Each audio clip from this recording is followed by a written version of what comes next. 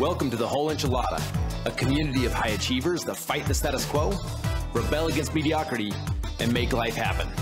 Let's go.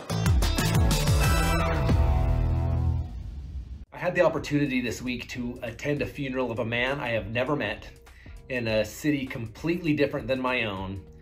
However, I know this man's son, who has become a great friend of mine, uh, who I look up to immensely.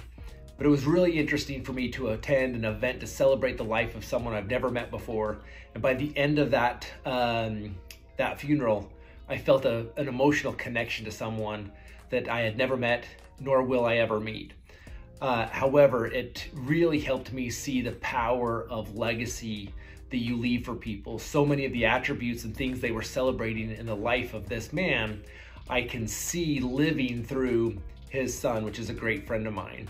Um, and it just made me think the impact, how important the impact is each one of us leave around those around us, because our personalities, our legacy, who we are lives on beyond who we are.